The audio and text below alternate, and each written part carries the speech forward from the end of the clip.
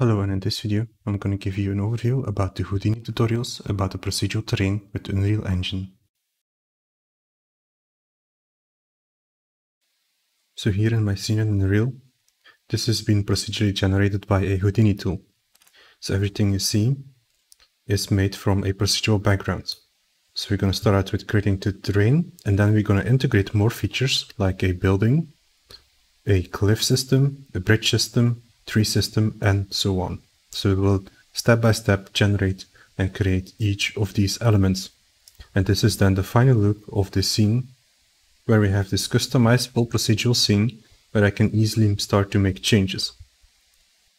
To make my project even faster, I'm going to use Quixel assets to build everything that I need faster or use some assets that they have.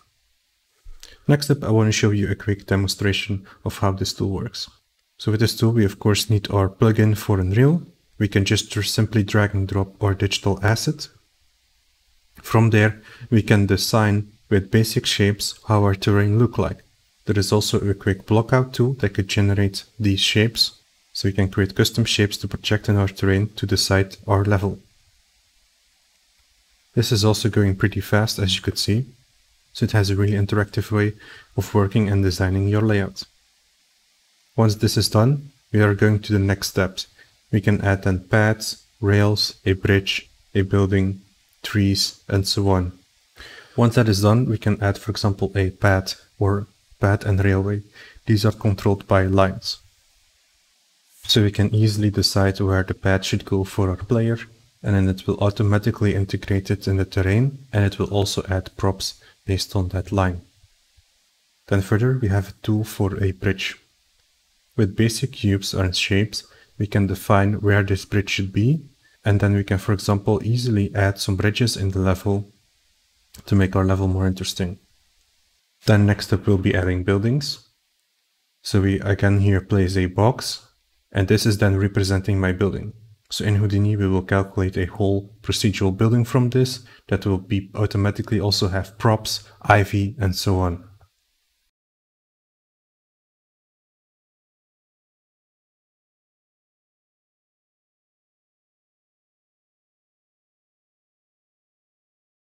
Then next up to bring the terrain more together will be a cliff system. So everywhere where we have a certain slope, we will then place modular cliff models from Quixel.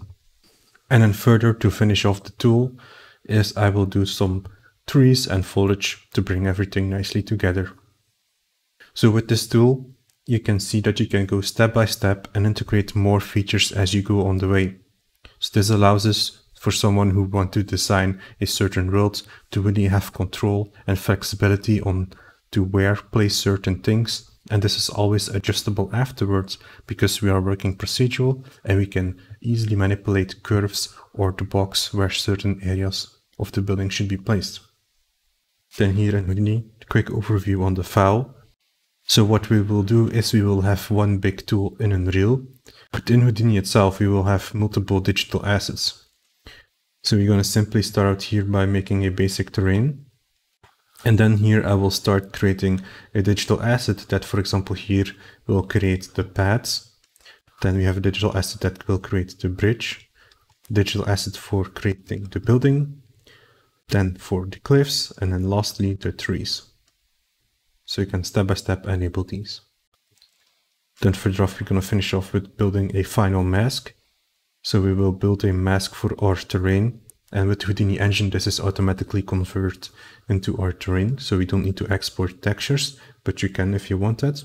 Once that is all built it will come nicely together here in our asset and then we can open this back in Unreal. So here in Unreal then we can generate a scene like this for example. As you could see this is also a smaller scene but of course, since we are working in Houdini and we have procedural workflows, we can easily start scaling this up to a bigger scene and terrain. But the focus for this tutorial will be on a similar scene like this and we will create it together. So thank you for watching and I hope you're interested to watch the tutorials.